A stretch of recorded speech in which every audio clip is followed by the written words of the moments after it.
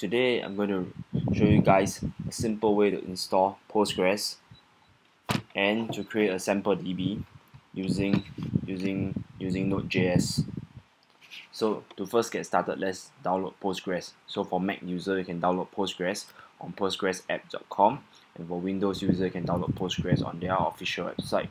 So once you have downloaded it unzip the zip file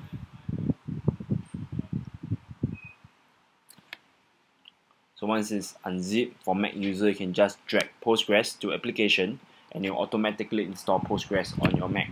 And for Windows user, you can just install it the normal way. So once this is done, you can just search for Postgres and this will open up Postgres for you and start up the Postgres server. And if you click open PSQL, it will open up the command line for us to for for us for us to write commands to for the for Postgres. So the first thing we need to do is to create a new a new database called sample DB. And once this is done, you can try connecting to sample DB using your current user. And it shows you that you are connected to the database sample DB as the current user that you're logged into. So for us to create a new table inside this database, we'll be using Node.js. So let's create a new directory. Let's create a new folder on our computer called Node Postgres. So once this is done, do a npm install pg just so this will install the node module called Postgres, or in short PG, into our folder.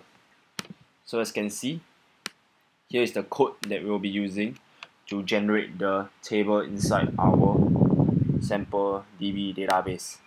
So this this connection string here will connect us into our sample DB, which is running on our local host on the port 5432. And this line here will create a table called items with id as the primary key and with two other variable variable called text and complete. So let's try let's so let's save this uh save this set of code into our node postgres.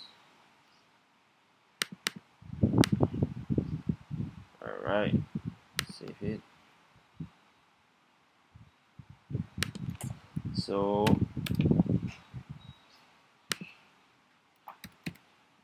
can run node database.js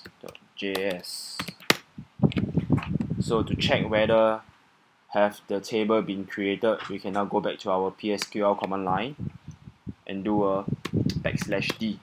So this shows you the schemas that have been created within your database. So if you want to go into the items table that which we have created earlier on just do a backslash d items so as you can see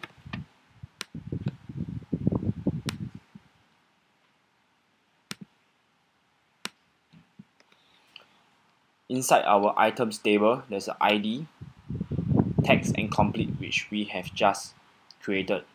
So that's all.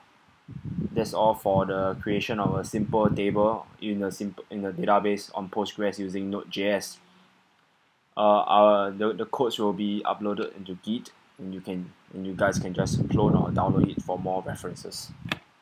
Hope you enjoy the video